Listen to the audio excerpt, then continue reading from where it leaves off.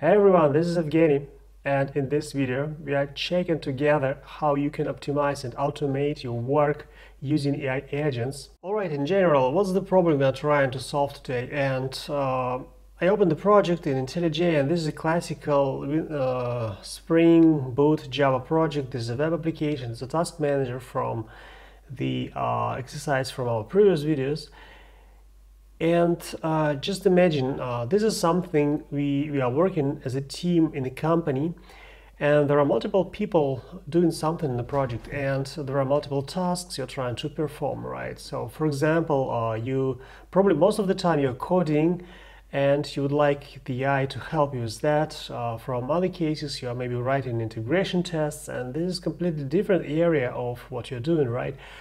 And maybe even sometimes you only have to think about the architecture of this application and, and check different approaches you would like this architecture to evolve. So uh, the point of what I'm saying here is that even as a single developer working on a project, you're wearing different hats what you're doing with the project.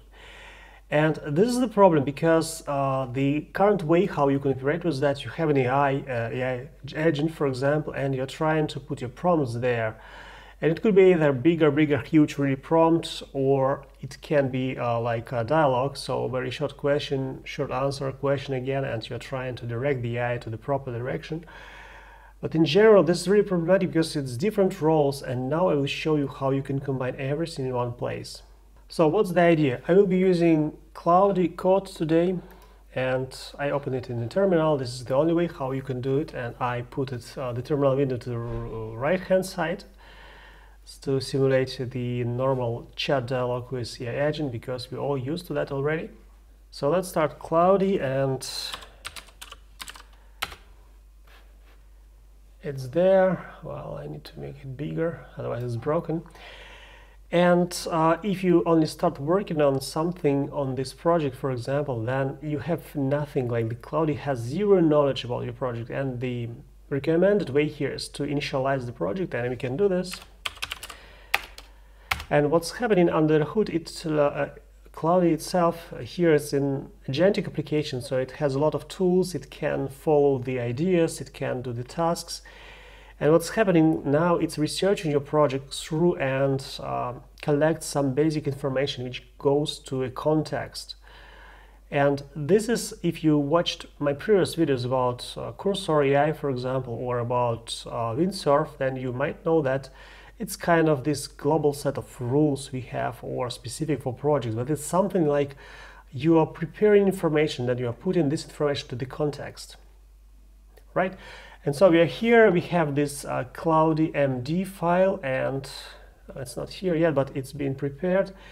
And the basic idea for this tool at least that uh, all these global kind of rules, they are put, they can be put to the Claude MD and every single request, this file will be read the context of the AI agent and then kind of it helps the guide the agent to the proper direction.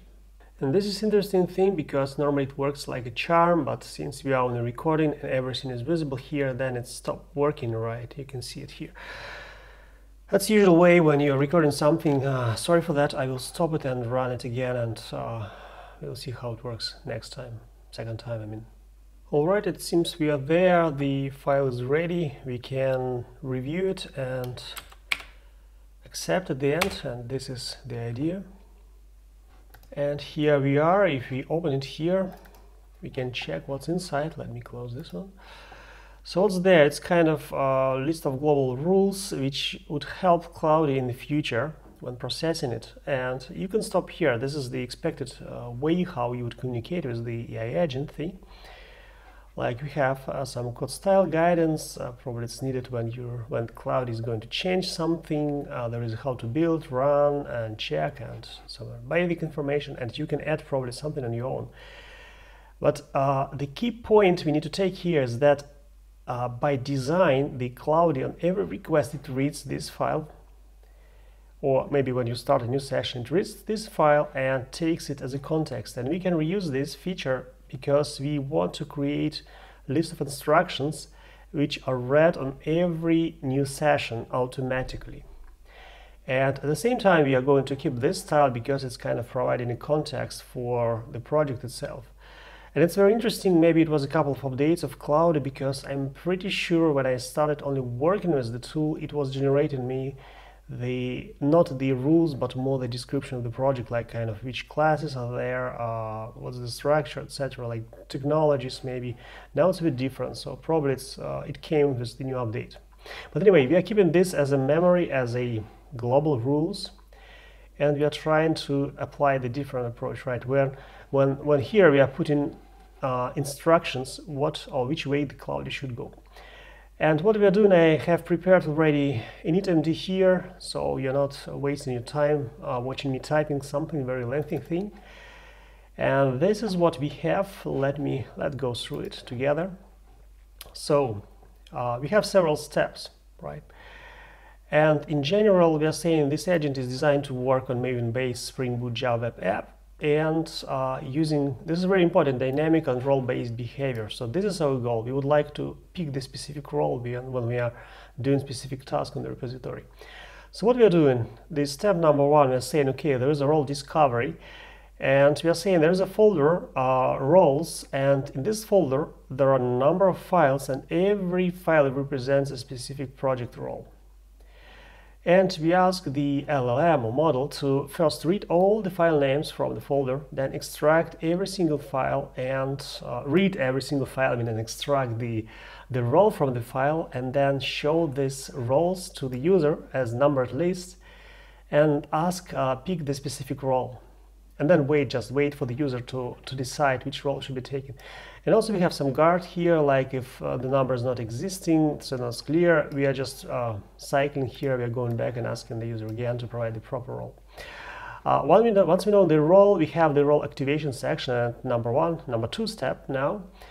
And we're asking to load the context of the role file and use it as active role context during the whole session and uh, this information should be used uh, to guide all the actions, uh, define tone, define scope, behavior in the whole section. And so when we have that, we also asking, okay, we have to, in parallel, we have to load uh, the global project description, and this is meant the Claude MD that we just created. So this is kind of general information about the project. And this should be combined to our previously loaded role description.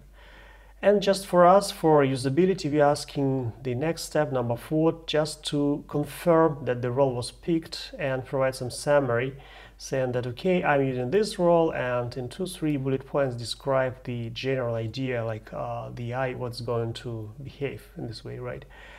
And some important notes at the end that um, uh, this setup should happen on every new session and if uh, no role is selected then we need to ask AI needs to ask the user to pick something and behave always corresponding to the role loaded right?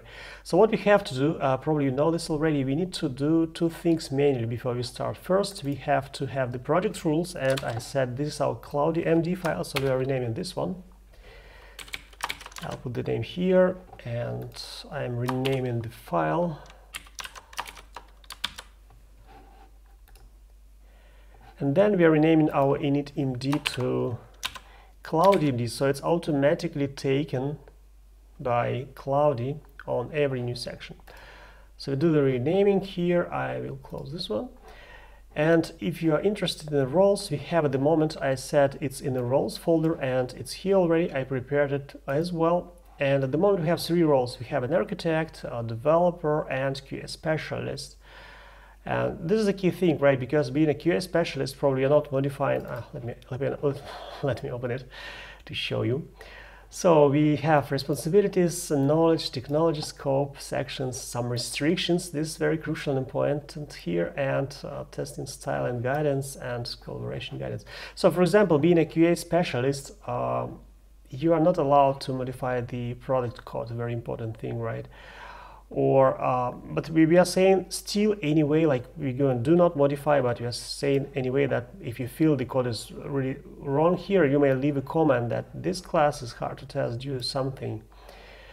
And we're making it familiar with different test concepts and all these kind of things.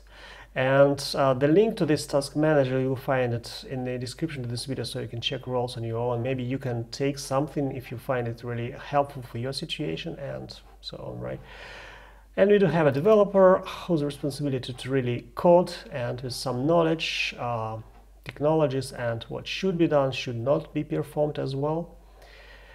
And we are saying, uh, again, for example, if this is not related to developer, there is still, still, still possible to make a to-do comment saying that this is wrong from his perspective, but don't uh, modify, don't change the architecture, for example, right?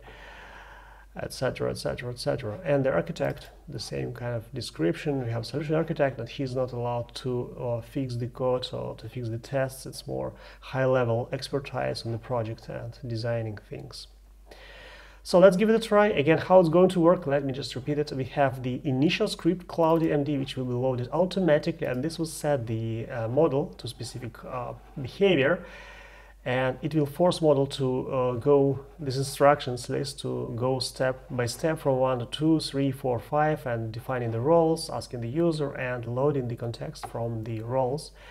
And after that, our model will be really prepared to operate in this specific section, session in a way that you needed, that you wanted it to do, right? So let's give it a try at the end.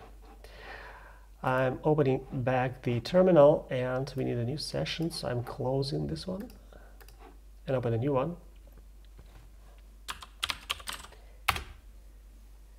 So we're still here, nothing happened, right? We, we see this load project memory and this was about loading the ClaudeMD file. But nothing happens because we need to trigger the conversation somehow. And it could be whatever, like, hi, Claude, how do you do?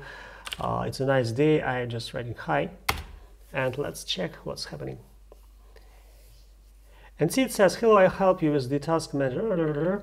I found three available roles, and this is architect, developer, and QA specialist. And please enter the number of the role you'd like me to adopt to this session. Well, I'm typing mistakenly number six, just to double check it, how it works. And it says, okay, I'm sorry, but number six is not a valid selection. I only found three available roles. All right, then let's take QA specialist. And then what's happening next? It reads the role definition. You can see it, it's from uh, roles, QA specialist, MD, and reads the project rules as well. So combining them all together, and then uh, the model is set up. And okay, it says I'm now ready to assist you as QA and integration specialist and I will focus on writing and improving tests, identifying test coverage gaps and providing testability feedbacks and so we are ready to start and how can I help with testing the task manager application today? So we are ready, we are prepared and just to have a smoke test, let's let's let's see what's really a QA specialist. What I'm going to do, I'm going to ask it to modify something from the production code. Let's say create task request this is a production code. It's uh, it's a record, and I will say something like.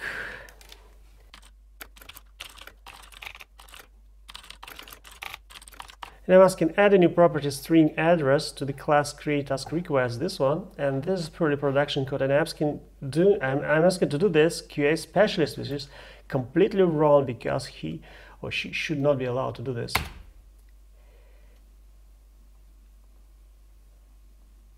and it found the file C. Uh, it was source main Java, so it's it's production task manager DTO create task, and it says I see that you'd like to add a new address. While I can't make this change myself as a QA specialist, I'm restricted from modifying production code. I can provide the following testing consideration for whatever implementing this change.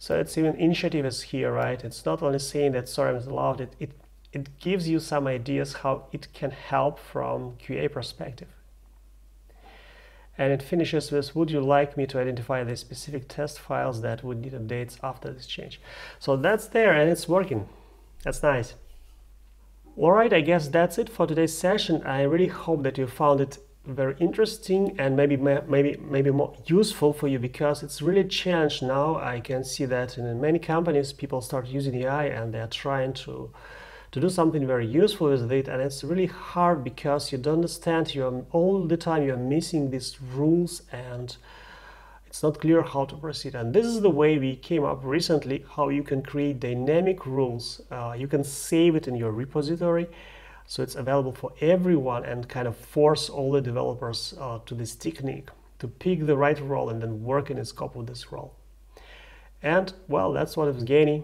and again, thank you for sticking with me till the end. I will see you next time in the next talk about AI. See you. And Bye bye.